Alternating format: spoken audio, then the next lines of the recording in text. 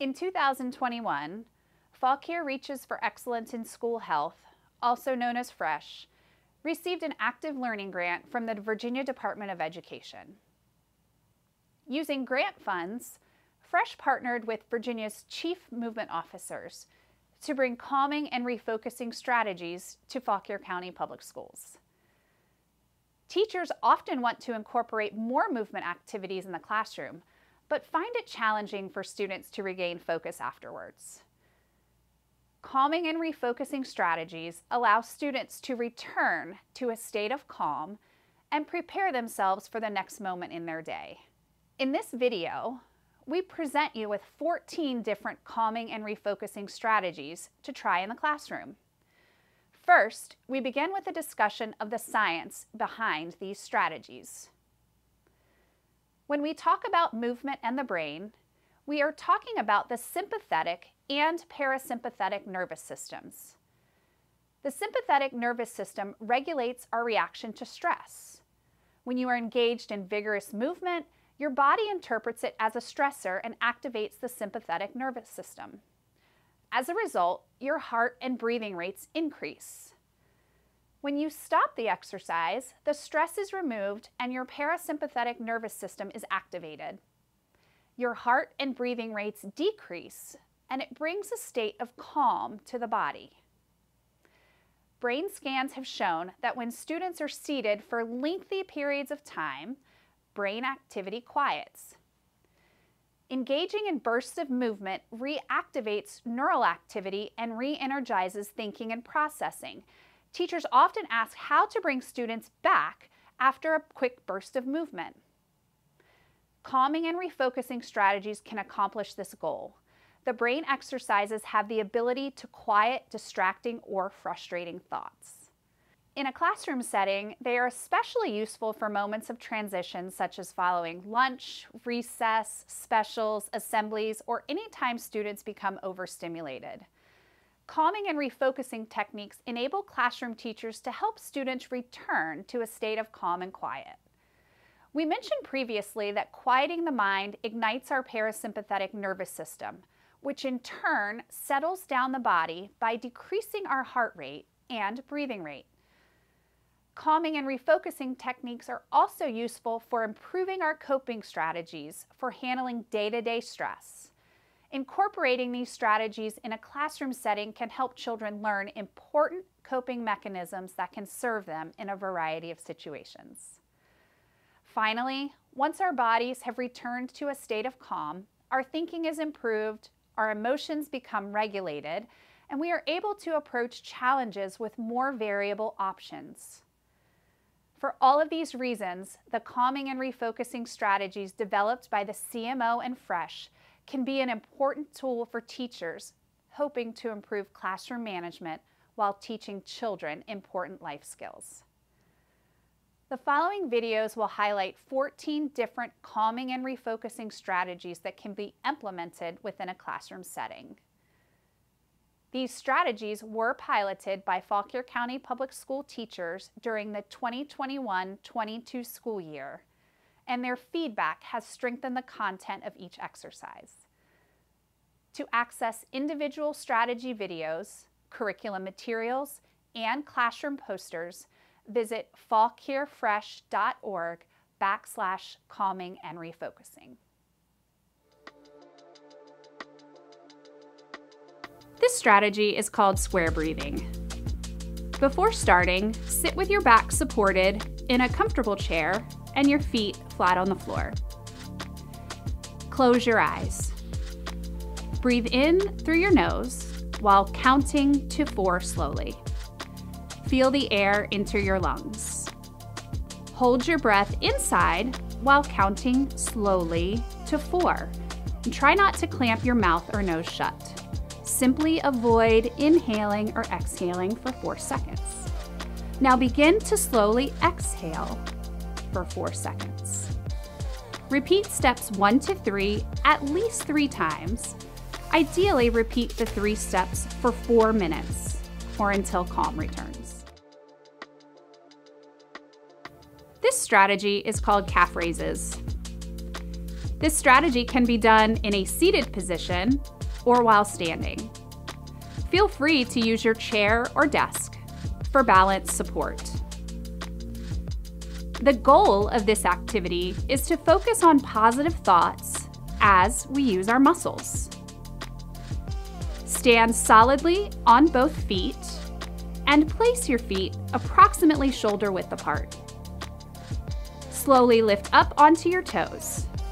As you lift up, focus on the lower leg muscles working to support you in this position and say to yourself, I am.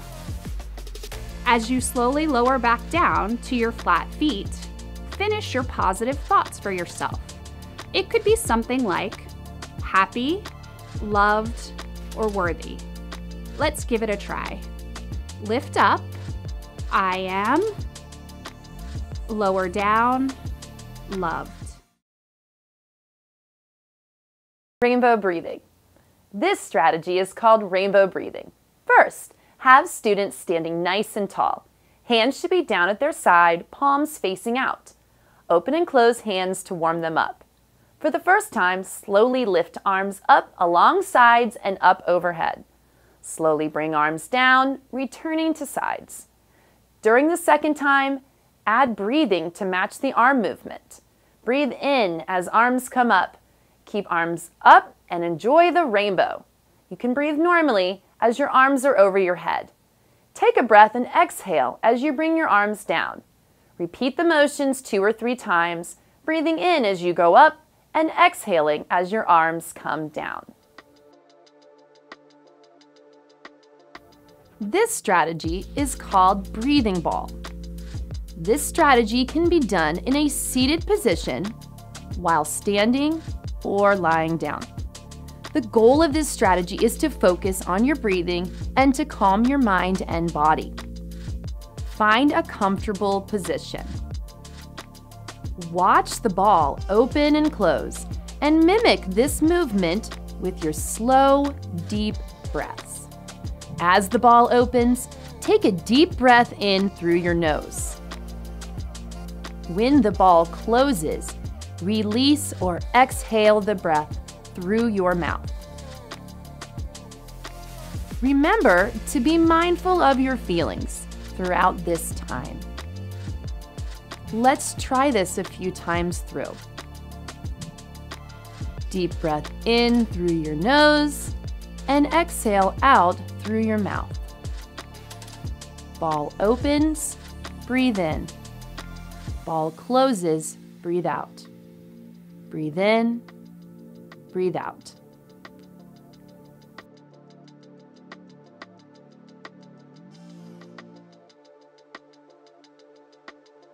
This strategy is called squeezies. This strategy can be done in a seated position or while standing. The goal of this activity is to take some time to check in with your feelings. Find a comfortable seated position, or if standing, stand solidly on both feet. Place feet approximately shoulder width apart. Start with using one hand and grab the opposite wrist. In a slow, controlled movement, Squeeze your arm moving up to your shoulders and back down to your wrist. While you are squeezing, check in with how you are feeling. Switch hands and sides to complete the same movements.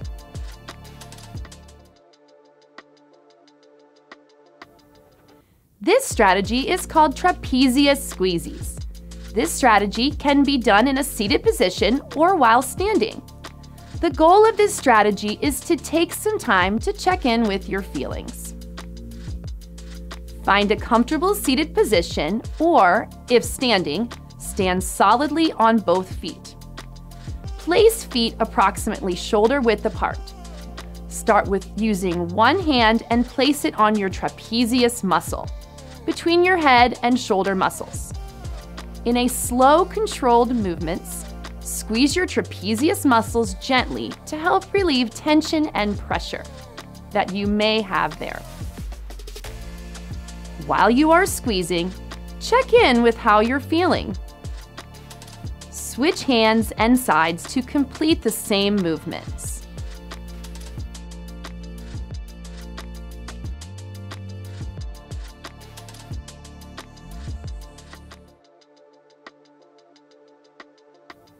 This strategy is called thumb pinky switch. This strategy can be done in a seated position or while standing. Find a comfortable position. Place hands in front of your body. Start by giving a thumbs up with one hand and point your pinky finger on the other. As we start this activity, remember to stay calm and focused by maintaining slow, deep breaths. Let's practice slowly. Switch your thumb into the up position and pinky out on opposite hands. Try it again. This movement may be difficult at first, and it's okay to go slowly if you need to. As you focus on this movement, make sure you show yourself some grace if you make a mistake and keep trying.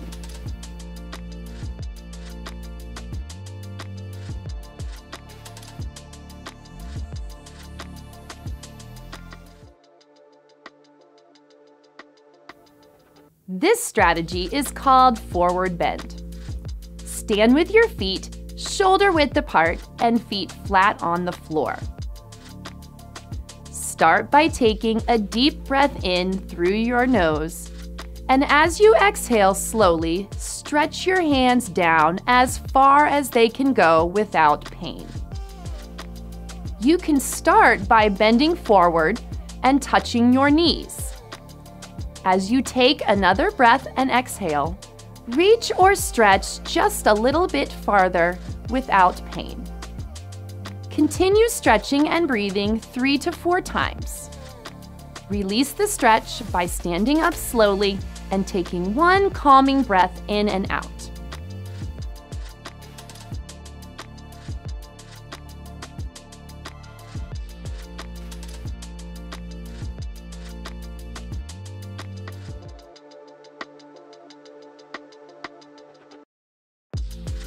This strategy is called touchdown stretch. This strategy can be done in a seated position or while standing. The goal of this activity is to focus on breaths. Find a comfortable seated position or, if standing, stand solidly on both feet. Place your feet approximately shoulder width apart. Start with raising both hands above your head and slowly lean to one side. Make sure to keep your breaths nice and slow. Stand back up with your arms raised above your head. Slowly lean to the other side, maintaining your slow breaths. You should feel this stretch on your side. Continue two more times for each side.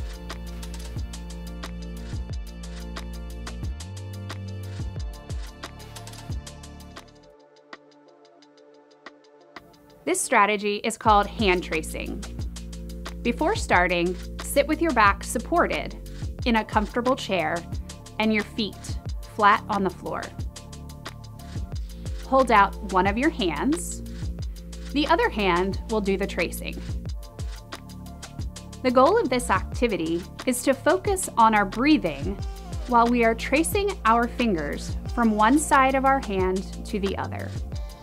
Every time we go up, our thumb, or one of our fingers, we breathe in through our nose. Every time we go down, we breathe out through our mouth.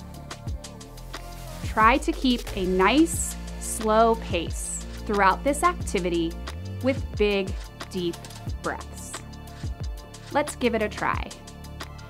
In through your nose, out through your mouth. This strategy is called seated pigeon.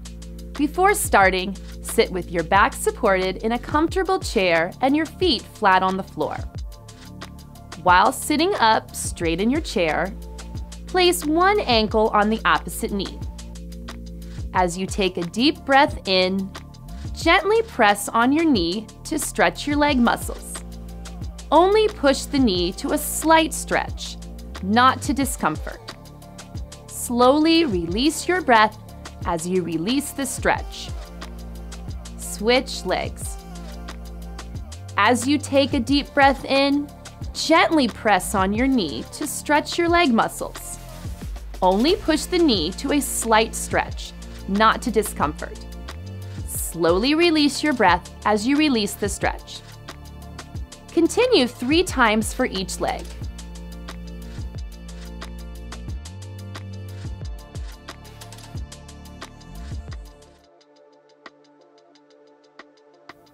This strategy is called 5 4 3 2 1. This strategy can be done in a seated position. The goal of this activity is to focus on your thoughts and your five senses. Take this time to focus on you and to calm your mind and body. Find a comfortable seated position. Remember to keep your breath slow and controlled. I am going to share things that I want you to focus on in your mind. This is a silent activity. Let's take time to think about five things that we can see. Now, focus on four things that you can touch.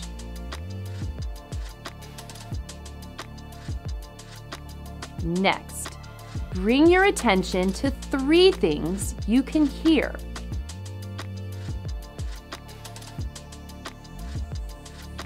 Think about two things that you can smell.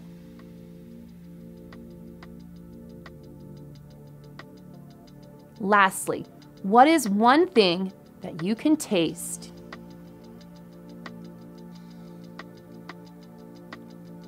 By doing this grounding exercise, you are able to put your focus on each of your five senses. This allows you to put your mind at ease while focusing on you. This strategy is called pretzel arms. This strategy can be done in a seated position or while standing. The goal of this activity is to focus on calming our breaths and our minds. Stretch both hands out in front of you with your thumbs pointing down. Cross your arms to make the letter X. Clasp your hands together with your fingers. Bring your clasped hands down and then back up towards your chin, turning them inside out. While keeping your hands clasped, place your chin on your hands and take three deep breaths in and out. When finished, unclasp your hands and continue with your day.